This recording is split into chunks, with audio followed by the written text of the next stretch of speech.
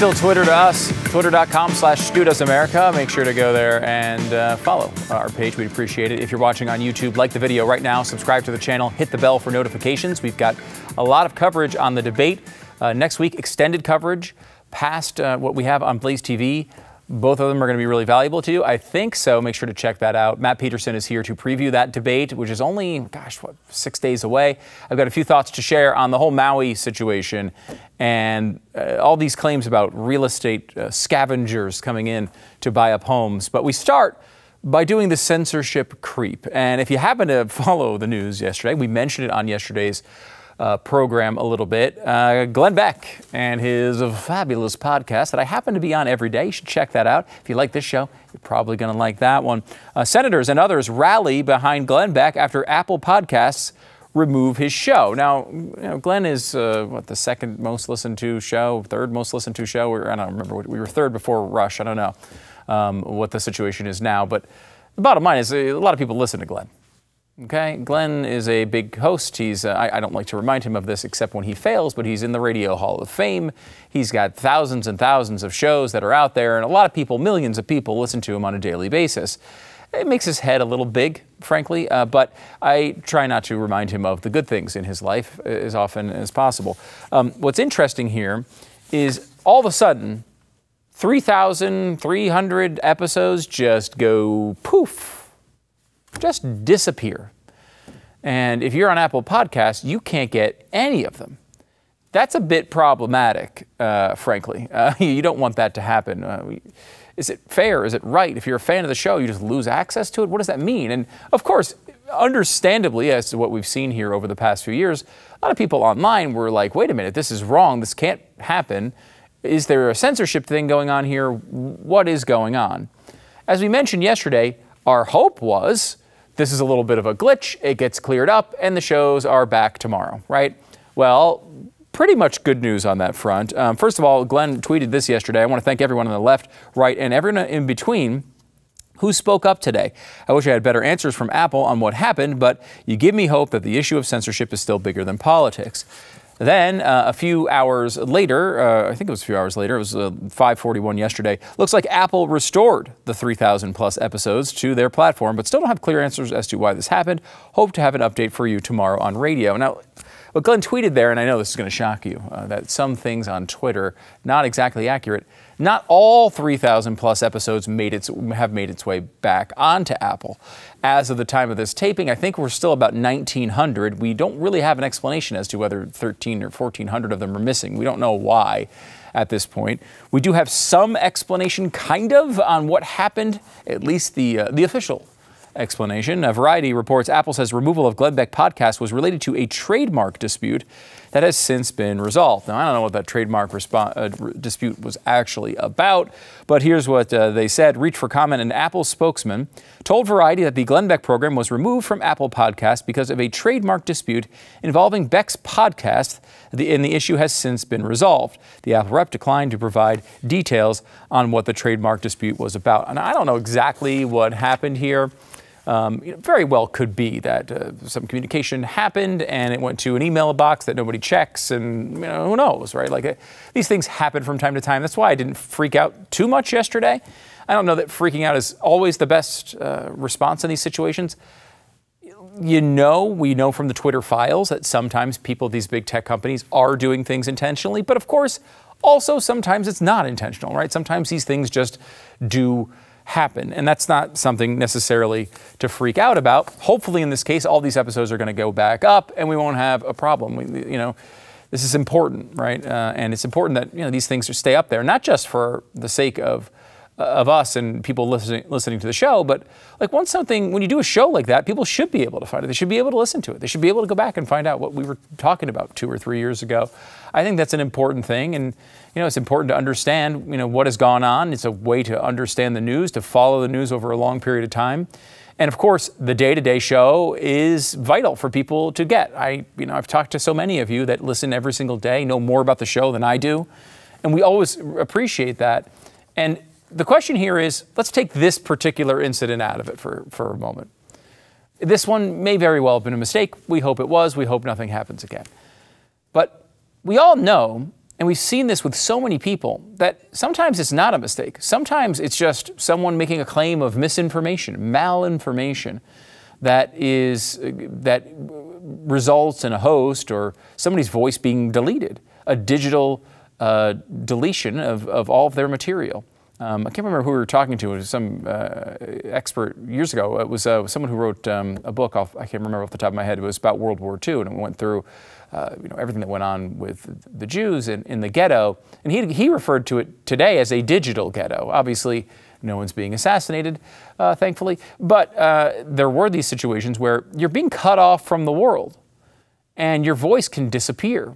Think about people who you were really impactful in, in the world of politics not that long ago, five, ten years ago, and think of how many of them are just gone. They got deplatformed and you never really heard about them again. This is pretty commonplace these days. We've seen reports over and over again of people losing access to you know, things like PayPal accounts and MailChimp accounts and everything because of what they say and how they say it. You can certainly have problems with those things, but why does it have to rise to that level where people have to be silenced? I was recently watching a thing about uh, shock jock radio, kind of from, you know Howard Stern and Opie and Anthony and Mancow and all these. It was some Vice documentary that they were talking about these things, and I watched a clip of it, and you realize that like there's so much effort being put into place to try to shut people up, to try to make it so you can't hear them. And you might say, well, I don't like that kind of comedy. Well, when did the time die where you just turn the freaking channels? Why is that not an option for most people?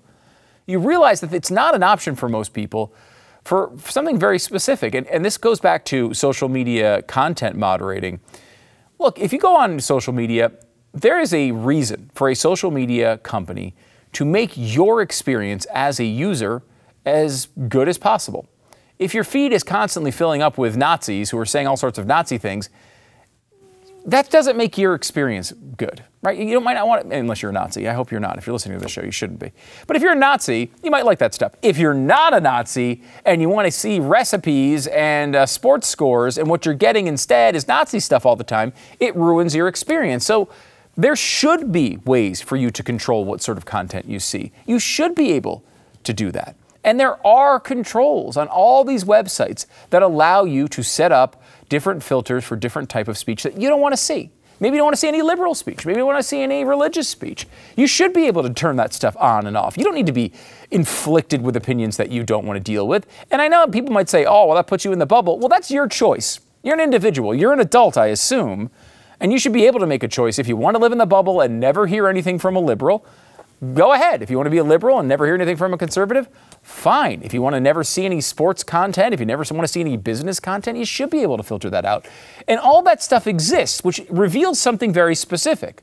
The people making these decisions about moderation aren't concerned whether you are offended by the material you see. They're worried that others will see material that they do like. And that material is information that they don't want you to, to consume right? It's easy for me to say I don't want to see any, you know, New York Yankees content because I don't like the Yankees. However, this is like the Yankees saying, "Well, we want you to see that content. We want that to see you to see you should see that content. We want you to be inflicted with it over and over and over again because they want control. They don't care if you're having a good experience or you happen to trip onto something that you might find interesting. They're worried that you're interested in it and to block it from your view is the only way they can think of to actually win the argument. They certainly can't come out and just fight fire with fire, argument with argument, words with words. Uh, that's the way it's supposed to work, and that is not the way it works right now. And this goes deeper when it comes to actual digital uh, content itself. Glenn talked about this on the show because while this Apple podcast incident uh, may not have been that type of censorship, it is illustrative of what type of thing can happen and has happened to a lot of people. What happened yesterday with the Apple podcast on my program is exactly why ownership matters. It is exactly why elites in the Biden administration, Davos, Wall Street firms like BlackRock want to consolidate property. That's why they need ownership. It's why the government is so eager to work hand in hand with giant corporations. If you don't own the platform, the media, the news, or opinion product, then you don't control it. It can be altered without any warning, like it was yesterday, deleted from history, thousands of episodes, over a decade of my work for no real reason. They can cancel it. This is the future that is being imposed on the world. And if you don't understand it, the day will soon come when the only voices you hear are approved by the ruling class and corporate elites.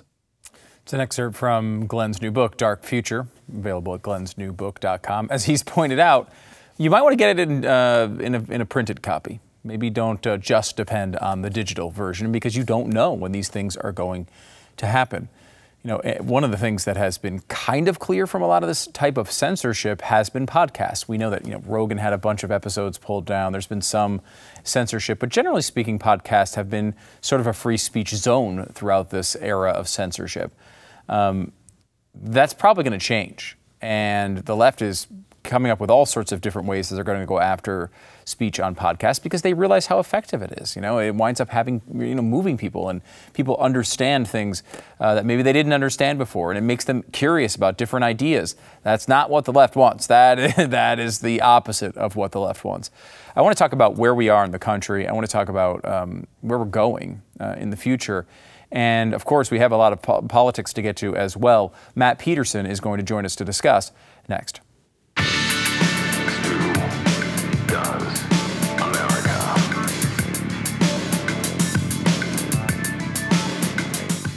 We were just talking about how digital media could just disappear. And all, what if all of a sudden you can't get the hosts and the opinions and the, the shows that you want? Well, what if the same thing happened with your medication? Probably would be a li- little bit more serious, actually. Uh, you're talking about you know, maybe antibiotics disappearing before your eyes. Jase Case is here to help solve that situation. Uh, the Jase Case is from Jase Medical. It's a great way to keep yourself prepared for the worst. It's a pack of five different courses of antibiotics that you can use to treat a long list of bacterial illnesses like respiratory inf- infections, uh, sinusitis, skin infections, and a whole lot more. It's great to be ready for a shortage if something like this were to happen with our supply chain. Would you be prepared for that? It's also perfect for traveling, especially if you're going overseas and you don't want to deal with a healthcare system uh, over there. If you uh, don't want to get caught unprepared, get a Jase case from Jase Medical. Enter the code STU at checkout.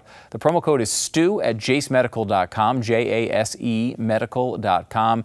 It's the Jase case from Jase Medical. Joined now by Matt Peterson, editor in chief of Blaze Media, and you know you've been around for a while. We've done shows together, specials together, but like you're you know officially on the team now. Uh, can, for people who don't know who you are and, and, don't know your background, can you kind of walk people through your journey to get into this seat? Sure, uh, it was an, an, incredible journey. I'm very happy to be in this seat. Oh, welcome. Um, but I have a background in. I started out in education. I thought I was going to go teach, uh, you know, teach the youth about uh, the American founding and so forth and so on. And I did that. I discovered how terrible academia was. You'll, mm. you'll have to forgive me out there. I'm a little slow in the uptake. um, so I realized that there was only so much I could do in academia. And I had already been working in media and political consulting and things like that, more entrepreneurial. Uh, and I did that stuff for a while. I mean, saw how corrupt uh, the cities were in Southern California. oh, yeah. It's bad. Um, and and also great weather, terrible places uh, of government, at least. Yes, mm-hmm. yes, and uh, and you know met a lot of great people along the way, and I had sort of uh, given up on uh, you know the Republicans and the, mm. the party, and thought we this is really running out of steam, and was really fed up, and then uh, Trump appeared, and I thought, well, that's interesting. Uh, it was certainly interesting. No, one would deny that. yes. So I saw this as a sign of life. And uh, uh my friend uh, Ryan Williams became president of the Claremont Institute, uh, mm-hmm. where I had worked when I was younger, and called me back there. And I thought, oh, they're going to drag me back into politics. Yeah. And they did. And it was a, a great, a great time during the Trump administration. I mean, we, I created something called the American Mind, AmericanMind.org, which yeah. was kind of an edgy, you know, leading indicator for the right, moving it forward. Um, I was very lucky to have a great team of people helping to build that, and I ran their fellowship program. So I ended up doing something in education after all for a lot of the leaders on the right who are younger. everyone from Charlie Kirk to uh, you know fancy lawyers and kids in their 20s who are high achieving and their resumes make you sick, you know. Yeah. But we would teach them about the American founding and uh, how it would apply today, and I, I think that was uh, gratifying work. But I knew in, when 2020 happened that. Uh, as great as Claremont is, and I still support it, I was just teaching in their program this weekend. Sure. Uh, we need to do something in the media space, and we need to move things forward in, in the for-profit world. Uh, we need a new commercial cultural movement, uh, and if we don't have that, we will lose. And I saw so many people just begging for that, right, in the last few years. Uh, that led me to go back to the private sector, create a, co-found a kind of venture firm for the right. We created some media assets. Blaze ended up acquiring those. Uh, and me. They bought you? Yes, God, they- I, you knew Trump would bring back, bring back slavery somehow, Yes, and here it is. yes, I- here I am, you know. That's interesting. So, like, bring back to the education part of this Yeah. because did you ever think it would be controversial to teach about the American founding in America? Like, that shouldn't be a controversial topic. I have to say, I mean, if you don't realize this, I mean, there's still people out there like, how, why would you, right? If you, I mean, everyone knows the schools are kind of corrupt now, but you know, when I started, I look back at my wife sometimes and say, why did we waste that time in the academy trying to teach and do good? Uh, because it's so bad now, and it's so obvious how bad it was. But it wasn't that way, right? I mean, it was in the last 20 years when that really started to turn. So when I started grad school, it was sort of right at the transition period, right, where um, you know, you still could get jobs in political science and uh, in these these fields, and there were people throughout the country in different departments who still cared about the American founding. Um, but they were under siege, right? There were a lot of libs there, but they, they were still out there. Yeah. And what ended up happening is, is while I was in graduate school, really, you could see the turn where it became much more belligerent. And, uh, you know, really, when you look at a job description in political science, it's all discriminatory. I mean, it, it's all designed. Like I realized after a while, wait a minute, these people don't want me to teach here. Right. me particularly, Yeah. right? Yeah. Are you are you Christian? You know, are you the wrong color? Are Right. you? I mean, eh, they didn't want that, and they didn't certainly don't want anyone teaching about the American founding and putting their nose in the books. Mm. And after a while, my thick skull realized, you know, go where you wanted, and it's not here. Right, right. Because it's- it's- I think looking at the education system is is a big awakening for a lot of conservatives who hmm. not only are shocked at what's being taught and how, how kids are being led, but also that conservatives seem to be really far behind, right? Like th- the left has been moving on this stuff for decades, a generation, right? Like you have the failure of, you know, the weather underground and the violent side of that at some hmm. level. Those people move over to academia, right? Yeah. They influence an entire generation of people. Um, so how far are we behind, and is there a way to catch up? Uh, well, we are behind, and just a word on that. I mean, it, I, I- one of the things I did is that really, um, you could say the kids call it black pilled me. So I was depressed about the state of affairs long before everyone else was. Yeah. Um, before it was cool. So now I'm kind of positive. I, I, I'm going to talk about some positive developments now. Great. But but uh, the reason that I saw how bad things were is because for three years I evaluated civics and history programs throughout the country in K through 12.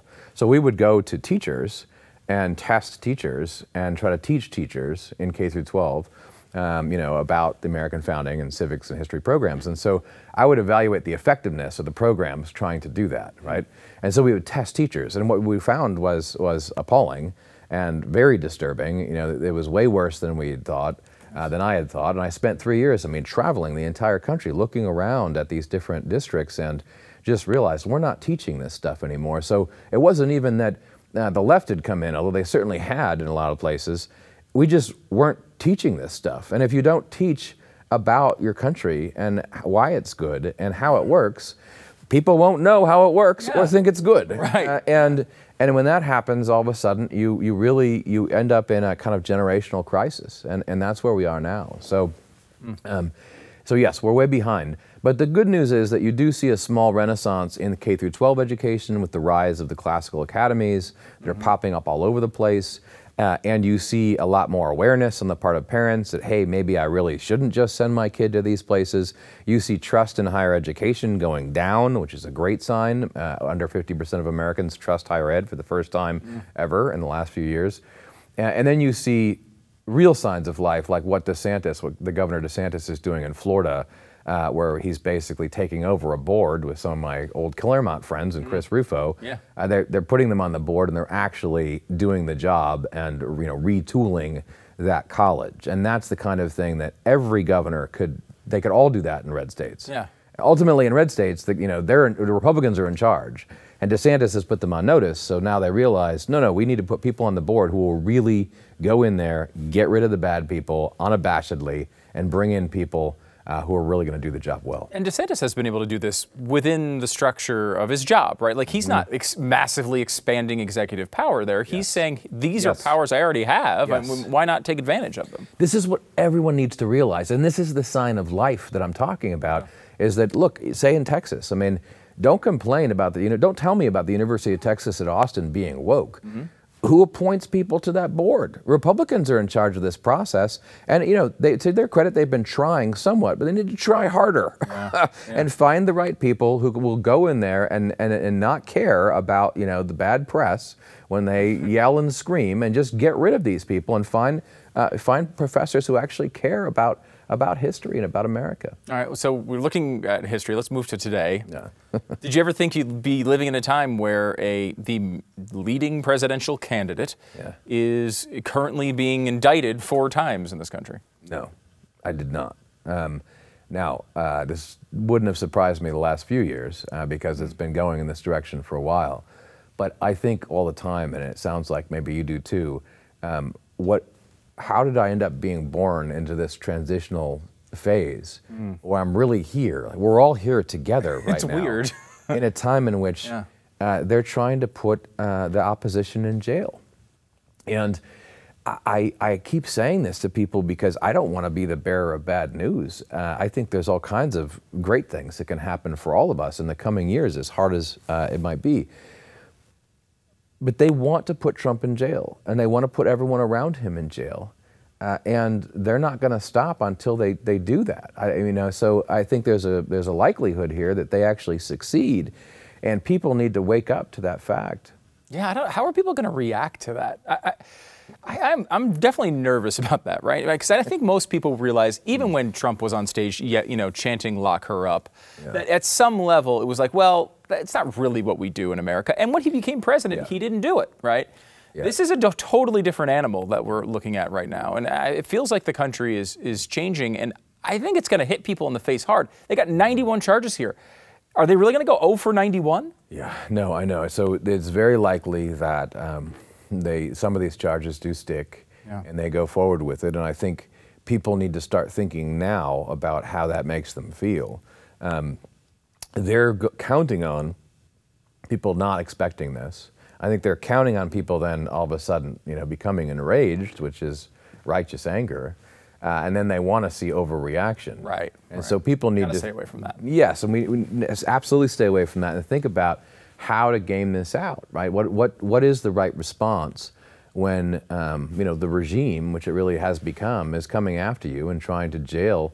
Uh, not just Trump, but other people around him. I mean, uh, you know, John Eastman is a was a Claremont colleague, is a Claremont colleague, and uh, is a just a, a very nice man. You know, a- and he's fa- going to face uh, the rest of his natural life in prison if they succeed. Yeah, Eastman was very well respected. I mean, look, you can question what he was pitching at that time, but uh, it's hard to believe that, that we've gone down this road.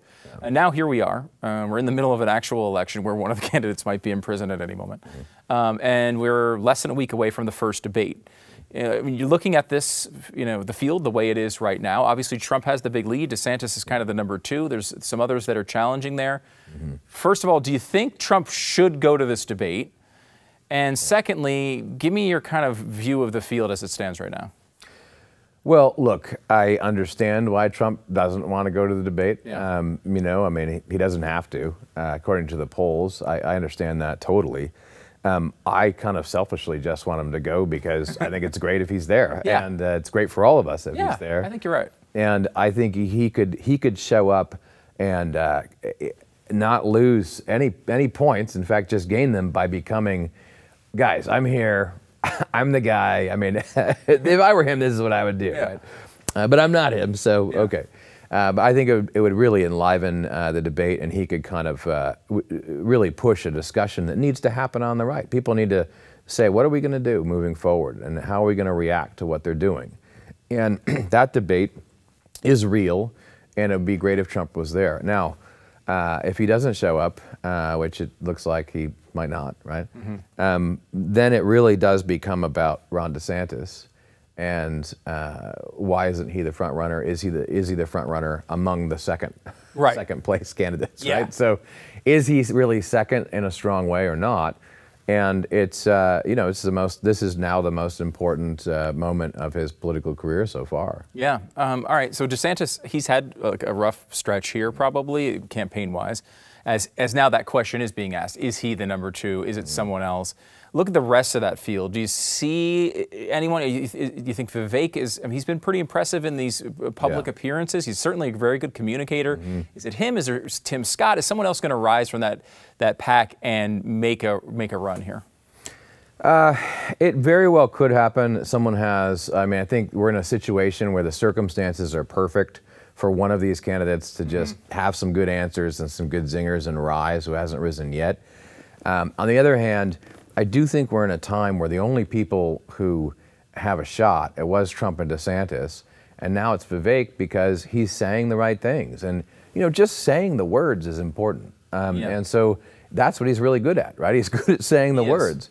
And so right now that matters a lot uh, to people. So I, I would expect him to have a great debate. Now, uh, as the Machiavellian politics of it are, that he's going to probably come out swinging against DeSantis, and DeSantis is going to have to uh, deal with that. And, uh, you know, I mean, he's sort of the, the bulldog in a way for everyone who's MAGA and for Trump is also supportive of Vivek because mm-hmm. they want to see him go against DeSantis and, and knock him down a peg. So, I, I mean, I expect there'll be some fireworks, um, but I don't, I don't really see anyone uh, surging in the polls for very long other than those three gentlemen. It is really interesting because I, I, when you look at it from that perspective, of course, why would Trump go? Let yeah. Vivek and DeSantis yes. and everybody oh, yeah. else beat up on each other, right. and you stay above it, right? Yeah. But um, you know, from an American perspective, from an entertainment perspective, yes. I'd love to have him there. He really should be there. I hope he does, but we'll, we will see. We're going to have great coverage on, on Blaze TV, of course, of this, uh, and it's going to be a really fun uh, night. It's on Wednesday next week. Don't miss it. Matt, Matt Peterson is the editor in chief of Blaze Media. Uh, thanks so much for coming on the show, Matt, and, and walking us through all this. It's great. Thanks for having me. It's been fun.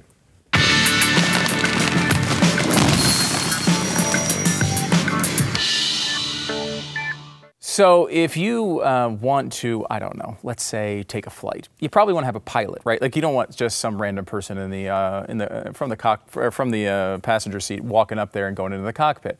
Well, that's uh, what there's certain things like that where you really do want an expert. Know, we've had lots of problems with experts. I don't know if anyone's noticed this over the past few years. But when it comes to getting a great real estate agent, you want to have the best. You want to have someone who really knows what they're doing, who knows the market.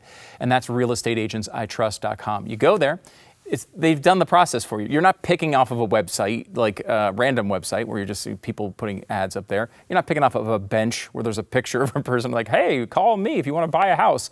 No, you're getting the best agent in your area, and this is a free service to you. Go there now, realestateagentsitrust.com. Whether you're buying or selling a home, get the best price on either side of that transaction. It's realestateagentsitrust.com, realestateagentsitrust.com.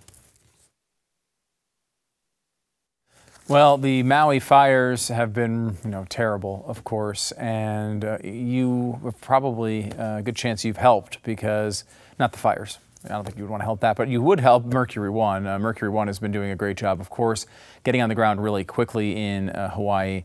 And so far, I mean, this is an old number now, but we're well over $472,000 in money raised. If you can go to mercuryone.org, you can help the people of this area. It would be really, really uh, highly appreciated. And, you know, it's, it's tough because these people were let down uh, by their government. Of course, there's also tragedy. There's also, uh, you know, all sorts of different things at work here.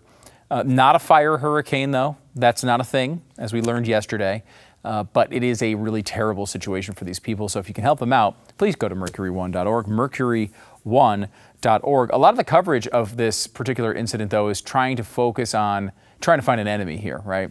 You know, whether it's global warming, whether it's evil Republicans and their SUVs, or it's uh, real estate speculators. This is the latest one. First came the deadly fires on Maui, then the looters and speculators. Now, looters are one thing, okay? Looters, usually the media loves looters. I don't know why all of a sudden they've turned on looters. As far as I understand, looting is totally okay most of the time, but in this particular case, I guess it's not. So I uh, found that looting was wrong at all times. Now, if you are in the middle of a tragedy and there's no hope for food or water, you got to give uh, water to your kid, sure. You want to take a bottle of water, a couple bottles of water? I, I think people are probably going to be okay with that. But the TV that you just lugged out of the electronics store really not it has nothing to do with this tragedy. It has nothing to do uh, with uh, whatever uh, disturbance is going on in society. Here in Maui, it looks like people are going to places that have mostly burned down and looking for stuff, trying to take it out. That's always wrong. We all know that's wrong. But I do want to focus on the other side of this, which is the real estate speculators. The governor of Hawaii is pitching a policy which would ban people from selling their land uh, and, and their home to outside people, people uh, from the mainland or anywhere else. And does this sound weird to anybody? And you think about it from, it's easy to understand why it makes the media, right? Imagine your life. You've just had a terrible tragedy. Maybe someone you, a loved one has passed away in a terrible fire. Your house is burned to the ground, and you get ring a ling ling from some real estate agent who's trying to make a quick buck. You can understand why that would piss you off, right? But, like, is the correct answer to something that would piss you off to ban the entire industry? Is that the right way to react to this? Same thing goes for tourism. We're seeing lots of complaints from individual residents who are saying, I can't believe these tourists are coming to Hawaii. You bastards, our, our, our, you know, our house just burned down and people have died, and I can't believe you're coming over here to surf right now. And like, I get that instinct. I can see why it feels really hard to deal with something like that in the middle of this, but what about the people on the other side of the island that are totally fine that run surf shops? Did they just shut their business down too, even though nothing happened to their area whatsoever? Should they turn off their way of life? Should they turn off their, uh, you know, the way they're making ends meet? Are they supposed to suffer? Uh, the tragedy is the tragedy. Do we make it worse for the people who weren't even involved in the tragedy? Do we criticize people who are coming over there? I mean, it seems like now is a good time to go spend money in Hawaii if you could do it. You're going to be helping the community. They need their income. I don't know if anyone's noticed this, but you know, most of the industry in Hawaii is based on tourism. If that stops, that's not going to make the situation better. And on real estate investment, look, sure there are people who are trying to take advantage of this. This happens every time uh, there's a tragedy. And look, this is something that happens within capitalism. Surely there are bad people who are saying, "Hey, I want to undercut you and lowball, give you a lowball offer." That's certainly possible. But take this from the other side for a second.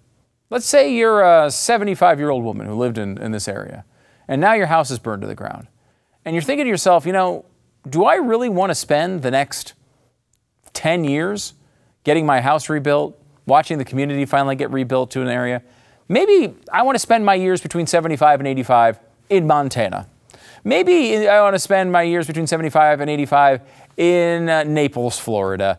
Maybe I want to get the hell out of here. Maybe I didn't like it here that much, and this is my excuse to get out. Who knows what the reason is? I'm not saying that you know that's the majority of people. I, I would imagine it's a small minority, but to banish uh, the practice of real estate sales, it's going to do what? It's going to hurt people who want to leave. There may be people who just say, you know what, I've had enough of this. I want out. And if somebody's going to come in here and offer me a fair offer for the land that I have, and I don't have to go through this rebuild process, and I don't have to deal with all this myself, you know what? That sounds pretty good to me. I want to get out. I'm not saying that's everybody, but when you make blanket policies uh, against these uh, residents, and you tell them that they are not allowed to sell their own property, eh, there's going to be some pissed off people there. Some people are going to want to just leave. I'm, uh, you know, would you want to stay? It's hard. You may love your hometown, you may love your home area, but like, if your whole area has burned down and there's not likely to be a store where you can buy groceries for the next year, I don't know. Maybe leaving is the thing that you want to do. And you should be able to sell your property if you want to. That doesn't mean that we should be encouraging real estate agents to be calling up and outside speculators to harass these people. If they don't want to do it, they don't want to do it. But like, you don't ban an industry because some people are annoyed at phone calls. That's not how this works. It shouldn't work that way. People should be able to sell their homes if they want to sell their homes. And, you know, Governor Green, who's been terrible through this, and has been pitching horrible idea after horrible idea should not be making the decisions for individual homeowners. They should be making the decisions for themselves. And this is what happens when government gets involved. They constantly do these types of things that don't wind up serving the residents. This is not going to help any resident. Telling them that they can't sell their home is not going to help any resident. We're now seeing that they're being blocked from being able to even view their homes to see what happened so that they can even file an insurance claim.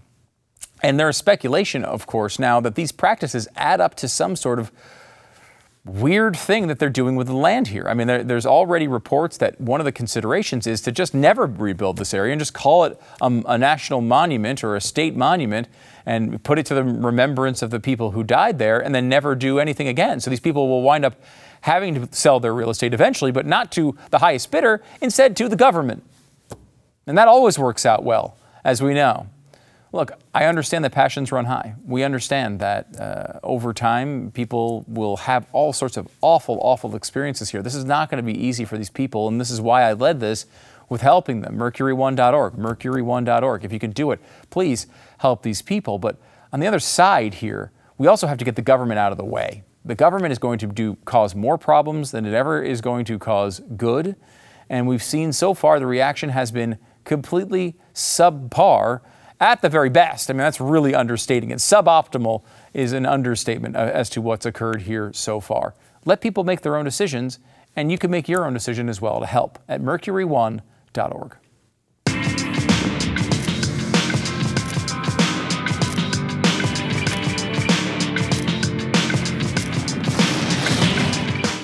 Grip 6 has awesome belts and wallets and socks. This is a company in Utah that sells in the United States, but all over the world as well. And if you've ever gone to grip6.com and you've checked out their stuff, you know how good it is. If you've bought stuff from them before, you probably continue to buy it because the quality is so high. People love this stuff. And you can customize it too. Like having one belt is not enough because you can put different designs on there. They're laser etched, they're really, really cool. You can get carbon fiber which is great because carbon fiber does not set off the airline uh, detectors, so you can kind of go through and not have to deal with that nonsense. Grip6.com slash Stu. Grip6.com slash Stu. You can check out the code Stu uh, when you go uh, through the process there, and you'll save 15%. This is stuff that you're going to buy and then you're going to rebuy more and you're going to give it as gifts. You're going to love this stuff. If you have someone in your life who uh, might need a new wallet, the wallets are really cool too. They're carbon fiber. They're really you know different wallets. If you've never had one like this, it's not like the big George Costanza wallet. It's it's a really cool one. You're going to like it a lot. Grip the number 6.com slash Stu. Grip6.com slash Stu. Use the code Stu and save 15%. Less than a week out from the first presidential debate on the Republican side, we have a general election poll. Again, I'd say, I don't know how much you take out of this. I think it gives you a general snapshot as to where we are, and that's about it. But in this particular poll, Biden leads Trump 47 to 46, but a virtual tie. Uh, in, in other words, this is close. I think that's fair to say. Right now, if the election were held, it would be quite close. Now we have a lot to go. Um, uh, I mean, we got a year of this plus to go. So I wouldn't get too excited about that. But state of the race, I will say, if anything, that's freaking out uh, Democrats who said, wait a minute, this guy's been indicted four times. Shouldn't he be at 0%? The answer to that is no, it's not going to happen. I know it's a shocking thing to many on the left. Uh, President Biden is uh, just getting ready for that campaign. He had that big uh, beach vacation he was on, and now he's going to step in and get back to work as he goes on, a, oh no, another vacation. Week long stay in Tahoe. Yeah. He's going to go from the beach to Tahoe. When, when's the last time you went to uh, from a beach to Tahoe? How recent was that? Do you remember that wonderful place you had right on the lake? Neither do I. And it's amazing how this gets to happen. I mean, look, the country is better off when Joe Biden isn't doing his job. That is something that I fundamentally believe. So I'm not going to be su- super, super critical of him taking a vacation. People are like, well, why isn't he doing anything in, in Maui? You know he'd screw it up more than it already is. So I am glad he's doesn't not doing anything, honestly. But I will say it is amazing that he doesn't get more negative coverage over this. Uh, do you remember? I mean, go back to freaking uh, Michael Moore's um, uh, big documentary uh, in, for the 2004 election. It started with Donald with uh, George W. Bush golfing, and the fact that he was golfing during the Iraq War. What a bastard! He went on a golf trip once. Then Obama came in and golfed like ten times as much. Nobody cared. Joe Biden has been on vacation more than any president in history, it seems, and nobody seems to care at all. That's just the way this works. Now, if you're wondering how good of a job he's doing with the economy, Bidenomics is working. Yes, it's working, boys and girls. Bidenomics is a huge success story. Let me tell you all about it. By the way, U.S. mortgage rates have jumped to the highest level since 2002. Yeah, that's amazing. You could see it uh, trickle down from 7 all the way down to about 3% when Joe Biden took over uh, in, the, in office. And since then, it's been basically a straight shot up the entire time. Now over 7%. Reports of 8% mortgages are being seen again. This is like Jimmy Carter times all over again. No one believed this was coming back, yet the policies in this country have been that bad. We've had a lot of stuff that's hit us. It hasn't been easy. I'm not saying it has been. Lots of people have made mistakes. Republicans have made mistakes. Democrats have as well. But what the Democrats have tried to do here with Biden has been a, it's not a mistake. It's a catastrophe. And it's an intentional catastrophe. I'm not saying they want to see mortgage rates at 7.09%. That hurts their election chances. It hurts a lot of different things. But They've raised these rates. They've put these policies into place. They put the spending in that made inflation go up so that they'd have to raise the rates to fight it. These policies are all uh, stuck together. And it's been really, really ugly from day one with this guy. And if you're wondering if the economy is going to turn around, remember Janet Yellen is a big part of it. She uh, was uh, she ate hallucinogenic mushrooms during her China visit, and she said they were delicious, which is good. I will say, if you've ever heard Janet Yellen speak, the only thing that could explain her accent is magic mushrooms. It's some weird combination of like Eastern European and Brooklyn. I don't know what it is. I've never heard an accent like it in my entire life, but I am completely unsurprised that Janet Yellen was using magic mushrooms.